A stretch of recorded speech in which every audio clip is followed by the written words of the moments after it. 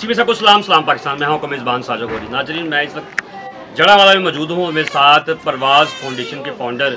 परवेज़ अख्तर कल्याण साहब मौजूद हैं, जो कि हर जगह पर जाकर ये परवाज़ फाउंडेशन की जानब से मेडिकल कैंप लगाते हैं, जहाँ पर फ्री मेडिसन और फ्री चेकअप करवाया जाता है और अच्छे डॉक्टर्स जो हैं, उनकी जेर साया मरीज़ों को चेकअप किया जाता है। हम यहाँ पर जड़ा वाला क्रिश्चन टाउन में मौजूद हैं और वैसे पीछे आप देख सकते हैं कि हमारे साथ एक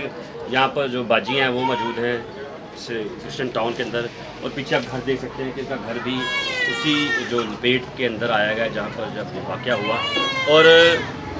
सबसे अच्छी बात ये है कि यहाँ पर जो है जमा इस्लामी के जो चेयरमैन हैं, सराजुल हक साहब, वो यहाँ पर जब आए और उन्होंने इनको कहा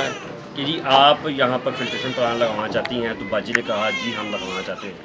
तो इन्होंने फिर अपने घर से ही ये आप जगह देख सकते हैं कि ये डोनेट की है जगह फिल्ट्रेशन प्लांट के लिए और उन्होंने कहा कि हम इसकी मद में फिल्ट्रेशन प्लांट भी लगाएँगे और आपका घर भी तामीर करेंगे तो सबसे पहले तो हम जो है साजु हक साहब का शुक्रिया अदा करते हैं कि जिन्होंने क्रिश्चियन कम्यूनिटी के साथ मिलकर उनके गम में बराबर के शरीक हुए और यहाँ पर आए और मुतासरीन के साथ मिले और घर भी तमीर करवाए और उसके बाद यहाँ पर भी ये भी फिल्ट्रेशन प्लान लगाएँगे। तो सबसे पहले तो मैं परवेज़ अख्तर कल्याण साहब से पूछूँगा कि सर, किस तरह आप देखते हैं कि जमा इस्लामी जो पार्टी है, एक मुस्लिम पार्टी है, और उन्होंने इतना अच्छा जो है एक मैसेज दिया हमारी क्रिश्चियन कम्युनिटी को, क्या कहेंगे आप? सबसे पहले तो मैं खुदा मसीह के नाम से शुरू करता हूँ। उस दिन जब मैं आया हूँ इधर इधर, मैंने जिस सारे घरों का विज़िट किया था, जिस दिन सेकंड डे में आया था। तो आप बिलीव करें कि इधर मेरे आँसू नहीं रुक सकते और आज मैं देख रहा हूँ खुदावन की मेहरबानी से हमारा जो चर्च है, वो भी बेहतर कर दिया गया है। हम अला के हम मशहूर हैं। उनकी बहुत शुक्रिया उनका, जिन्होंने इस काम को, की ज़िम्मेदारी उठाई है और अकलीत का साथ दिया है। आज कुछ बहुत फ़र्क माहौल नज़र आ रहा है। जो ये बाजी खड़े हैं, इनकी मैं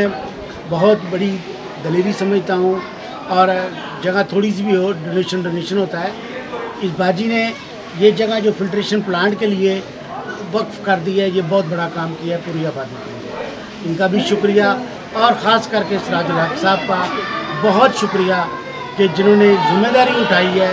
इस घर की इस घर को भी मरम्मत करेंगे और उसको कंप्लीट करेंगे। और उसके अलावा फिल्ट्रेशन प्लांट भी लगाएंगे बहुत शुक्रिया जी सिस्टर जी पहले तो अपना नाम बताइए और फिर ये बताइए कि ये जो सरजुल हक साहब ने आपसे वादा किया है ये किस तरह समझती हैं हाँ, मेरा नाम जद बीबी ठीक है मेरे चार बेटियां ने बेटा नहीं है मेरे मियां ਦਾ ਜਿੰਨੀ ਤਵਾਜ਼ਰ ਕਾ ਠੀਕ ਹੈ ਤੇ ਮੈਂ ਨਾ ਉਹਨਾਂ ਨੂੰ ਕਿਹਾ ਬਾਉ ਜੀ ਰੰਨੇ ਫਾਜ਼ਰ ਜੀ ਰੰਨੇ ਕਿ ਸਾਨੂੰ ਉਹ ਜਗ੍ਹਾ ਦੇ ਦਿਓ ਸਾਨੂੰ ਗਵਰਨਮੈਂਟ ਨੇ ਕੁਝ ਨਹੀਂ ਦਿੱਤਾ ਠੀਕ ਹੈ ਅਸੀਂ ਕਿਹਾ ਕਿ ਚਲੋ ਤੁਸੀਂ ਆ ਜਗ੍ਹਾ ਲੈ ਲਓ ਚਲੋ ਮੈਨੂੰ ਤੁਸੀਂ ਘਰ ਬਣਾ ਦਿਓ ਠੀਕ ਹੈ ਤੇ ਉਹਨਾਂ ਨੇ ਕਿਹਾ ਠੀਕ ਹੈ ਬਣਾ ਦਾਂਗੇ ਠੀਕ ਹੈ ਤੇ ਮੈਂ ਮੈਂ ਤਾਂ ਕਹਿੰਨੀ ਆ ਕਿ ਫਿਰ ਬਣੇ ਮੇਰਾ ਜਲਦ ਜਲਦ ਸਰਦੀ ਆਣ ਦੇ ਬੱਚੀਆਂ ਮੇਰੀਆਂ ਕਿਤੇ ਰਹਿ ਰਹੀਆਂ ਨੇ ਠੀਕ ਹੈ ਤੇ ਮੈਨੂੰ ਘਰ ਬਣਾ ਦੇਣ ਫਿਰ ਜੇ ਨਹੀਂ ਚੈੱਕ ਦੇਣਾ ਤੇ ਮੈਨੂੰ ਘਰ ਬਣਾ ਕੇ ਦੇਣ ਨਾ ये चेक तो जिम्मेदारी गवर्नमेंट की थी लेकिन अभी जमा इस्लामी साहब उन्होंने वादा किया है आपके साथ ठीक है जी नाजिन आप सुन सकते हैं कि साजुल हक साहब ने जड़ावाला के अंदर 40 घरों का वादा किया है कि वो यहाँ पर तमीर करेंगे साथ साथ उन्होंने ये भी इस घर का भी वादा कर लिया मेरा ख्याल है कि जिस तरह जमा इस्लामी के जो अमीर हैं, फ़ाजुल हक साहब, उन्होंने जब वादा किया है कि हम अकलीतों के साथ बराबर का सलूक रखते हैं, जिस तरह हम माइनॉरिटी हमारे साथ है, उसी तरह हमारी अक्सरियत जमात है, वो भी हमारे साथ है। तो मेरा ख्याल है कि जिस तरह ये पार्टी ऐसे इकदाम के अंदर, ऐसे सानिया के अंदर इकट्ठे हो जाती है तो दूसरी पार्टीज़ को भी सोचना चाहिए और वो भी इस तरह के मामला, जब आते हैं किसी भी मुल्क के अंदर तो उनको एक यकसा, एक जमात के साथ मिलकर आवाज़ उठानी चाहिए। हम पंजाब गवर्नमेंट का भी शुक्रिया अदा करते हैं, जिन्होंने फौरी तौर पर यहाँ पर तामीराती काम शुरू करवा दिए हैं चर्चेज़ को बनाना शुरू कर दिया तो मेरा ख्याल है कि जिस तरह जमा इस्लामी ने ये काम किया है